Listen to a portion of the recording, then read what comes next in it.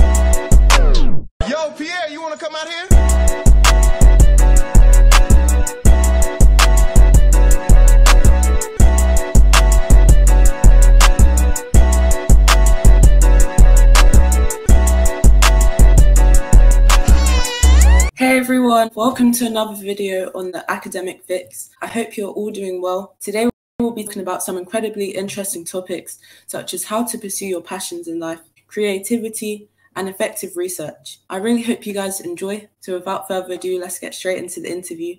Laura, would you like to introduce yourself? Yes, of course. Hi, I'm Laura. I am a freelancer. I do freelance work. I also am a marketing assistant at the moment. And previously, I've done YouTube, social media, podcast, business, bit of everything, really, but all creative things. I think for me, exploring my passion came in so many various ways. Like, my family have always been really interested in technology. So, from a young age, I was introduced to things like cameras, phones, and that was something that I therefore had such a passion in. I have always been into like various forms of creativity, whether that's like drawing, photography, graphics, now video. So it's been a journey, but it's just using whatever resources I have to create something. And that's been the way I've always done it. Even if I've had one piece of paper, how do I go to make that something that I can put out there and really be proud of? I mean, that's happened to me very, very often. I think that's very clear from my consistency online. But for me, artist block is such a hard thing because I have such a connection with what I create. I am very involved in it. It feels like it's kind of a part of me. So to go from making something to putting it out there is a huge reflection of my personality and who I am and what I'm passionate about. So artist block happens so often for me. The way that I get out of it, I suppose, is to do like really small little tasks related to it, whether that's editing something for 10 seconds, because as soon as I start it, I, I keep going. It's more starting it that's the issue when you're in a creative block, I suppose.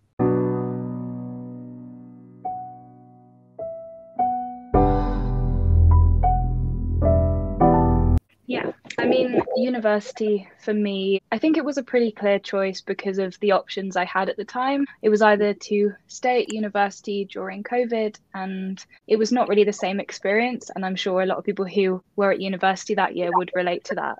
And I found it quite hard to connect with people and things like that. I had a really small course. So it was either take the opportunities that I had freelance wise, social media wise, and try and make it work for a little while or stick at uni and keep trying to do both of them without enough time to do both of them. That makes sense. So, yeah, it was a pretty clear decision for me. But in terms of courage, I've always been very, I know what I want, but sometimes I have to be like told, okay, you're doing too much. Mm-hmm. And mm-hmm. all I was hearing at the time from my family was like, you're doing too much, you're going to burn yourself out. And I did. So they're always right. Um, yeah. So yeah, I think courage wise, it was just trusting what I felt was the right thing to do. I have always been brought up with this, you know, StudyTube and all of that lot. You go to uni, you do three years. It's not really very often that people will leave university, especially with posting that kind of content. But I knew it was right for me. And I suppose I've been in a different kind of career path. Creative careers can come in so many forms. So it's not a never, it's just like not for now kind of thing. I like that because a lot of people feel like they have to go to university straight away. Yeah. It's definitely. never running away from you. You can do other things yeah. first and then go later. Yeah, exactly. I think that's a really important message though because people look at it and they're like oh i've got to go as soon as i come out of school and really like a lot of the time nowadays like people go to university and not even end up doing something that's related to their degree and in my case i know that i'm passionate about what my degree was in but it was more i was already doing that in a weird way so it felt mm. like oh what do i do and i think that's when i feel like you always know when something's not quite right prioritizing mental health is always number one on my list of everything. I think you can get so wrapped up with schoolwork, work, anything, life situations, family. And I think sometimes you do forget about your mental health, and that's really the thing that keeps you going. And so it's the most important thing. And that's something that I've always said online and to my friends personally is that, you know, check up on people, check up on yourself as well, like as much as you would check up on a friend. Mental health is a really important topic and it's not something to be second best to any of your other responsibilities.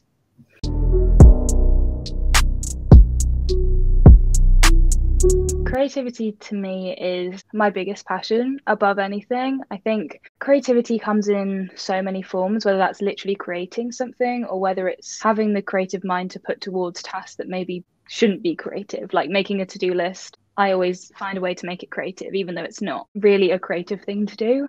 But creativity for me embodies all of passion and art in itself. For me, that's my favorite thing in the world. I suppose a follow on would be do you think everyone can be creative and how? Yeah, I think everyone could be creative. I think a lot of the time when you get to school and you're kind of either pushed down a creative route of oh you can draw you can paint that is usually the thing of oh i can't draw so maybe i can't do design or maybe i can't do film but that's literally not the case at all and it's either you go down the creative path kind of straight away or sometimes people come back to it later in life um, as a hobby at the moment i'm about to go into my 20s and there's a big saying about you go into your 20s with the passions that you had as a kid and for me that was always art and i think a lot of the time we're told if we're not good at one thing, we can't be good at the other. So we kind of push it away and we're like, oh, well, I'm, I'm good at this thing. So I'll just pursue that for now. And we don't necessarily listen to what we actually enjoy doing.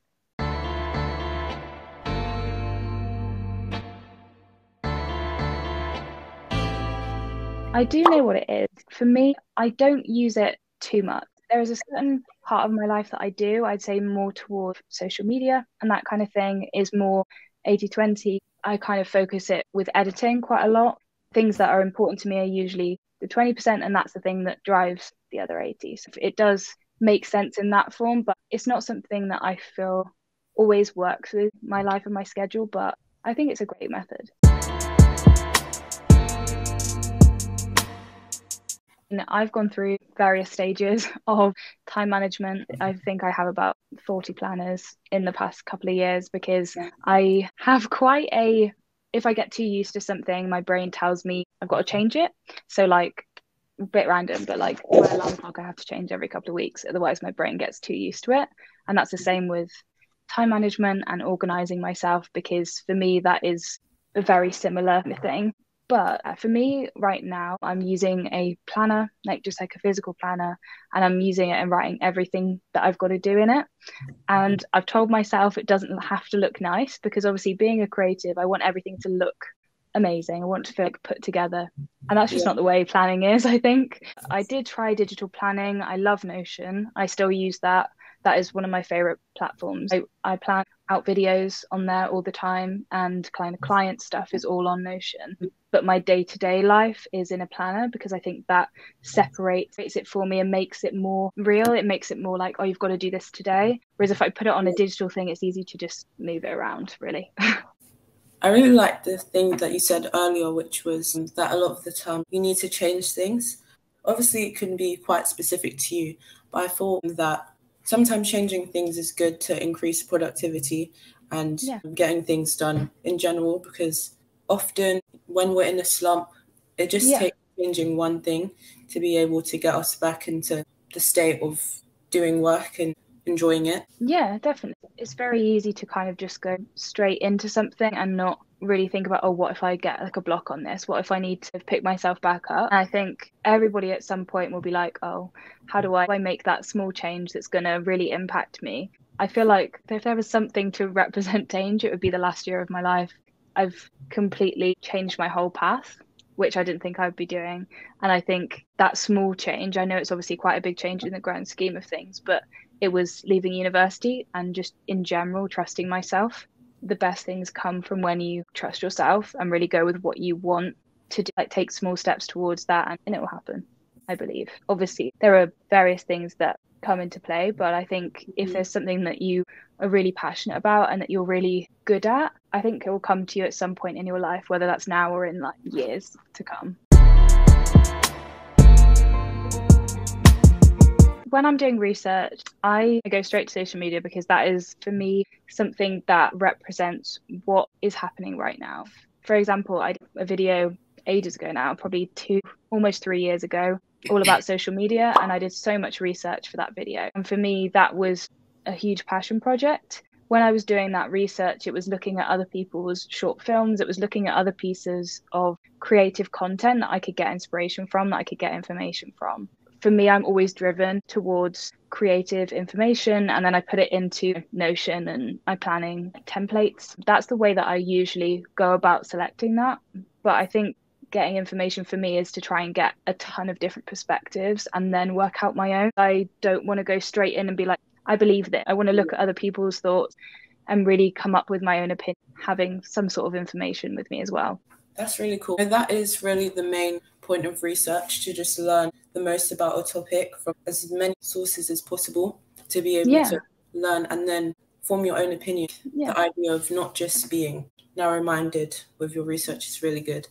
Yeah, with creativity as well. You can't really afford to be narrow minded. It's almost like a skill that you have to keep feeding so it still works because a lot of the time people think, oh, you're you're creative, you'll come up with something. But if you don't keep looking after yourself or keep up to date with everything or keep your eyes open, if you like, then Yeah. like that creativity does go.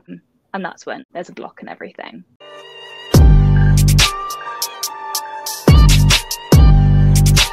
I would say assess the situation, assess what your options are, because that's always such an important thing. And especially when you have responsibilities and things where you're like, which way do I go? This would mean this would go worse. This would mean this would go better. Follow your passions for the main part. If you are a creative, it's nice to have a bit of stability so you can really develop on your creativity. And that's the situation I'm in now. Like, I've got a full time job before I was doing YouTube and I, loved it, but I was all over the place. I couldn't really develop on my creativity because I was kind of always having to be creative, if that makes sense. It was as a hobby. Whereas now I've got the stability and I'm doing creative stuff outside. So then when I feel really confident that I have got my way of doing stuff, I could change my schedule to go more towards that if I wanted to. If you've got a passion for something, you'll go for it at some point in your life, just not to necessarily rush into it because it can be, be tempting to be like, I'm just going to go straight into this. I'm just going to work really hard at this one thing.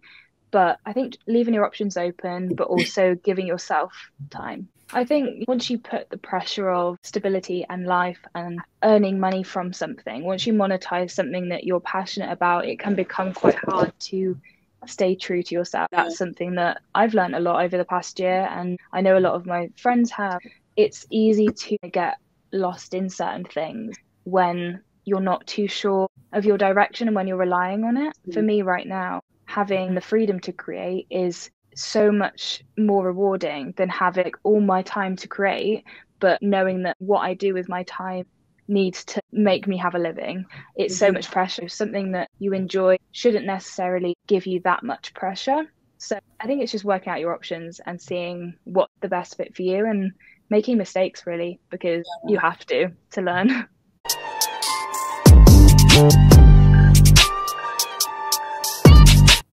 I am not the biggest book reader, but I do listen to podcasts, and that is kind of my version of a book.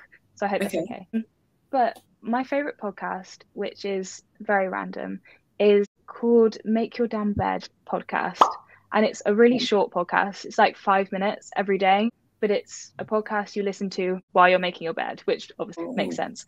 Yeah. But it's just incredibly like insightful. There's also another one that I listen to along a similar line called Creative Pep Talk, um, which is the same kind of thing, but it's for creatives. So the kind of conversations that are said in that one are way more focused towards self-worth, like valuing yourself as a creative and just various things that come up. I think the way I think about creativity and the way I value my own work and my own time now is because of that podcast and because of the Make It Damn Bed podcast.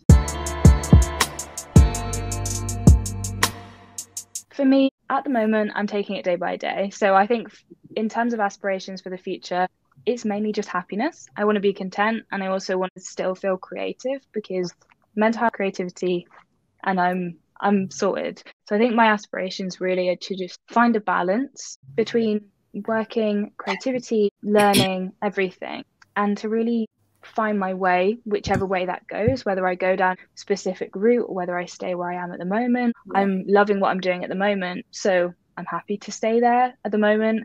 But I never know where things are going to lead or opportunities that might come my way. And I'm very, very open to that. I feel that of course it's good to be very ambitious and want to succeed in the future but there's also mm. danger in always seeking more and not really being present in your present situation and enjoying your life in that moment. Yeah, exactly. And I think, as you said, it's so important to be present. And that's something that I have learned hugely over the last year. The more you kind of have on your plate and the more you're able to distract yourself from being present, the more you crave it, the more you need to be present in the moment.